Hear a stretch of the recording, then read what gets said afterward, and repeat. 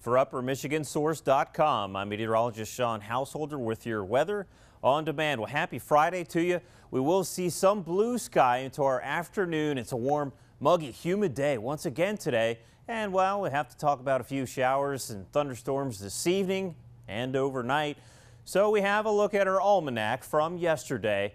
Turns out we were a whole 17 degrees above our long-term average on both the high and the low, well above our long, long-term expected average.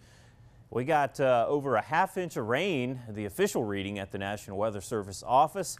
And I also want to mention yesterday's date last year, the high was only 49 degrees. So not a bad day. And uh, we did enjoy a fair amount of sunshine yesterday, similar to today, I think, as well. Here's a look at that large area of low pressure affecting uh, much of the upper Midwest. Some severe weather expected once again across parts of uh, the Mississippi Valley, even into the lower peninsula. We could see some more severe weather there. Now, there is a bit of uncertainty how much severe weather we could see today. I think we'll be rather limited. We'll be on the northern fringe of that uh, severe instability there. Now, we can see some drier air working into Wisconsin along our uh, western flank there.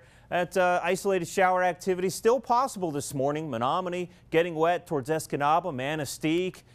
And uh, we're also tracking a few areas of fog for you this morning. Keep that in mind. And we lose that fog, I think, by lunchtime across the east. Check out temperatures as this is being recorded at the 8 o'clock hour. It's uh, already rather muggy, mild day for us to start. Temperatures in the low and mid 60s along that Wisconsin line. Escanaba, the cool spot for now, 57. Marquette reading 60. Copper Harbor reading 59. And uh, we're still well within this warm sector. And look at all this warm air associated with the uh, front side of that low pressure system. Houston reading 79. They'll see triple digits today, I think. And uh, that's, out, that's almost tropical air making it in there. And so this low pressure system will be able to tap into that warm, humid air, cool air on the backside of that. We'll talk about that for the weekend. So here's a look at this low pressure.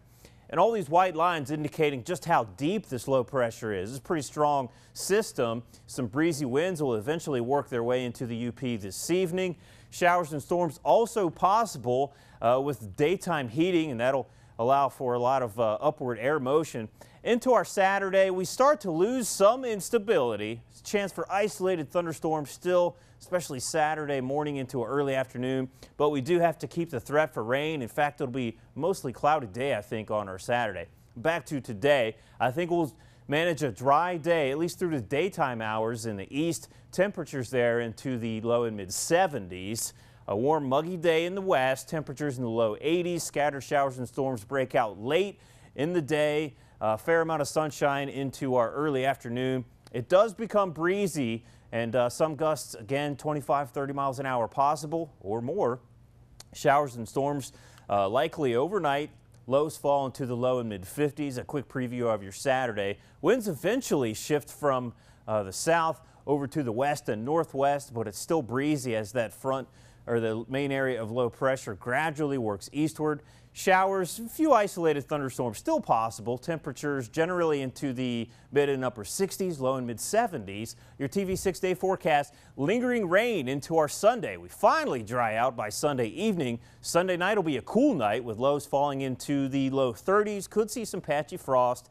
Another cool night on Monday with lows in the 30s. We dry next week, but uh, it's really slow to warm up. Highs will only be in the low 60s. The next chance of rain Wednesday into Thursday. Have a great weekend.